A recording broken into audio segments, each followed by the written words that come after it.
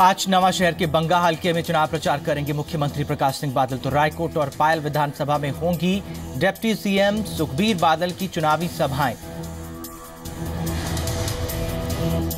आज कैप्टन अमरिंदर सिंह भी भरेंगे हुंकार। बठिंडा के रामपुरा फूल से कांग्रेस उम्मीदवार गुरप्रीत सिंह के पक्ष में करेंगे प्रचार।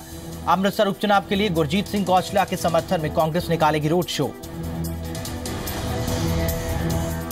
आम आदमी पार्टी के पंजाब लीगल सेल की मेंबर किरणजीत कौर ने अरविंद केजरीवाल को लिखा खुला खत।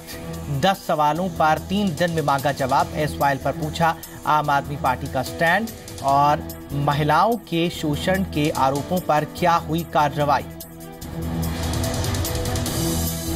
आज जी पंजाब, हरियाणा, हिमाचल के संपादक दिनेश शर्मा के साथ पंजाब की बात का कारमा रोपड़ से दिखाएगा चुनाव के रंग। ग्राउंड ज़ीरो से नेताओं और जनता से होगी जन सरोकार से जुड़े मुद्दों पर सीधी बात।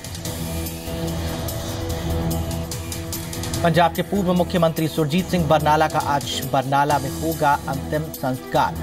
कल शाम लंबी बीमारी के बाद चंडीगढ़ पीजीआई में हुआ था निधन। इक्यानवे साल के थे बरनाला। हरियाणा बीजेपी कार्यकारिणी की दो दिन की बैठक आज से होगा आगाज़। सरकार के कामकाज और संगठन की मजबूती पर रहेगा ज़ोर। आज मौसम फिर ले सकता है करवट। मौसम विभाग के मुताबिक उत्तर भारत और मध्य भारत में आज का दिन सीज़न का सबसे ठंडा दिन हो सकता है साबित। वेस्टर्न डिस्टर्बेंस के चलते जम्मू कश्मीर और हिमाचल प्रदेश में 17 जनवरी तक भारी बर्फबारी और बारिश की संभावना।